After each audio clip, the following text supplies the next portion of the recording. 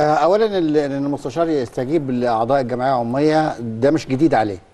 وده الفارق بين رئيس نادي مكتبه المفتوح لكل أعضاء نادي الزمالك وبين رئيس لجنة آه كان يقول لك أنا لا أتعامل مع الأعضاء. تاني يا كريم. نعم. ده الفرق بين رئيس نادي مكتبه مفتوح لكل أعضاء النادي. حتى الأطفال بدون استئذان بيدخلوا. وأنت شفت يا كريم. وبين نعم. رئيس لجنة يقول لك أنا لا أتعامل مع الأعضاء. نعم. ودي كانت يعني موقف صعب وقاسي على أعضاء نادي الزمالك. وكاد يفتكوا بيه ولدرجة بعدها بقى يدخل من ال- الأبواب الخلفية. أنا أقصد الأستاذ حسين لبيب. لكن المستشار مرتضى منصور عنده ح- ح- يعني مطالب. أعضاء الجمعية ومطالب. الجماهير أوامر. فورا استجاب لهم. ودخل على آه، إزاي جت الفلوس وإزاي حصل الاشتراك. المهم إن الخدمة دخلت نادي الزمالك. وزي ما قال صبحي آه، النادي في كارثة النادي في أزمة. زي ما قال صبحي عبد السلام. ماشي؟ النادي في أزمة. أزمة تتحل إزاي؟ تتحل إنه في واحد صامد اسمه المستشار مرتضى منصور. مستمر. مش هيسيب حق الزمالك.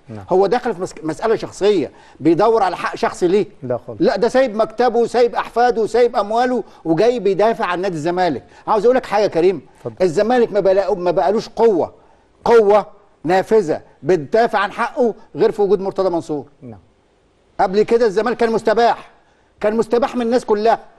كان الزمالك يتاخد منه نادي القرن كان يتاخد منه ألقاب كان يتاخد منه بطولة دوري كان. يتاخد ببطوله كأس. ولا يتكلم. كان يتظلم من حكام. ما حدش يقدر يتكلم. تتخطف لعيبته. لعيبته تتاخد من على السلالم. ولا حد يقدر يتكلم.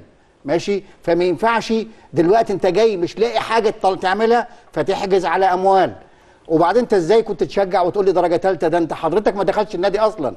ولا شجعت.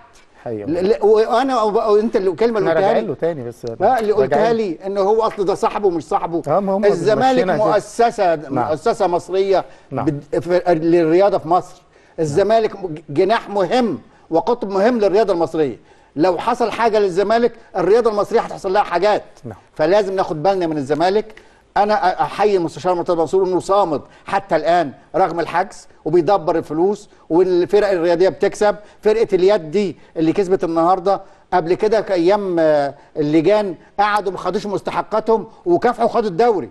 نعم. ما فكروش في المستحقات. ده اللي بيتعمل دلوقتي. مؤسسة الزمالك نادي الزمالك العريق بجماهيره وبأعضائه هتستمر الحياة فيه رغم أنف الحاقدين والكارهين نادي الزمالك.